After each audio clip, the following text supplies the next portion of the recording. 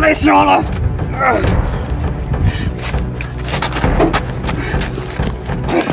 啊！谁呀？谁呀？把我小孩子放下！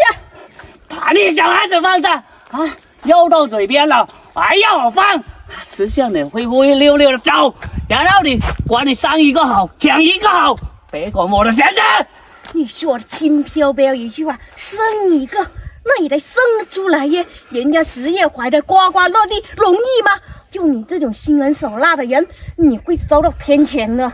我不管天谴不天谴，反正老子赚钱就可以了。你不想生，就去讲一个，我管不着你啊！你想赚钱，你别祸害我家的小孩，那你去堂堂正正赚钱不好吗？堂堂正正正的赚钱，这世间的钱哪里有那么好赚的啊？我这里一天搞到几十几十万，我轻轻松松，我还跟你堂堂正正赚钱，想都不要想。还轻轻松松，你就可以昧着良心去祸害别人的家庭，让别人的家庭骨肉分离、以泪洗脸的吗？我告诉你，你这种人天理不容。给你机会，不想跟你啰嗦那么多了，你是不争气的。给你脸，不要脸是吧？什么叫给我脸不要脸？现在是你得寸进尺，没有人性，丧心病狂的。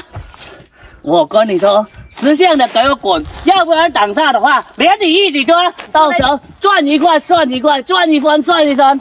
你坐在这里，记得等一下妈妈救你。我告诉你，赚了一分一分，但是千万别昧着你自己的良心。想打是吧？啊，老子就会会你，看下你有什么厉害的功夫。还有有有有，还厉害的功夫是不是？有有。厉害的功夫，那我今天就教训教训一下你。我不让你吃点葡萄皮肉之苦，我就誓不为人。对不起我儿子。坏坏事呀呀呀呀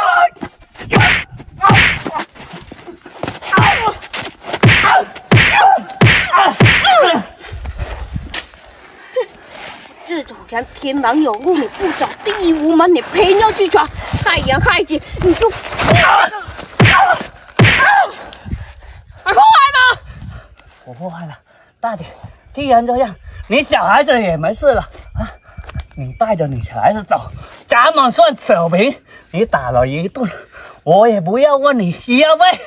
问我医药费？我告诉你，如果不是我发现的及时，那我们。就家里的就少了，我自己的骨肉自己身上掉下去，你快说！啊！就算把你千刀万剐都不解恨，懂不懂？天你家没小孩吗？你没娶媳妇吗？你这样的去祸害别人，我告诉你，你胆子肥了活腻了，你不要我还要命呢！他是我身上掉下的半条命。啊！动手是不是？这也不怪我，谁叫别人给那么高价格，谁能忍受的那个金钱的诱惑啊？金钱的诱惑，见钱眼开是不是？我告诉你，做这种伤天害理的事，我今天我就地天谴都为民除害，我偏偏不放过你。我跟你说啊，我上面可是有人的，就算你把我抓进去。你前脚一出来，我后脚就跟着出来了。到时候把你家里包覆个遍，让你家财不宁，鸡犬不宁。哎呀，有人更好啊！你有人，我就没有后台吗？我现在就把你去，让你吃馒头去，受到法律的制裁去，然后再把你们那些窝点一网打尽，连根拔起。人家说法网恢恢，疏而不漏，懂不懂？这我不懂啊！你还？想狡辩是不是？恶人先告状还强词夺理？要不这样，我给钱买我这条命总可以了吧？啊，用你的钱买这条命，你觉得可能吗？我们虽然说没什么大好的钱，但是呢，也不是像你这种见钱眼开、昧着良心赚这种也，把自己的亲骨又卖了，懂不懂？不懂是吧？那我今天我就让你见识见识一下，什么叫不懂？我干嘛？我要干嘛？你的腿不是长得好好的吗？今天不把你的腿折了，那你觉得可能吗？干嘛？干嘛？干嘛？干嘛？来，来，把他腿拉出来。干嘛？干嘛？不要欺人太甚啊！欺人太甚是指什么叫欺人太甚？是你自己欺负到我家头上了。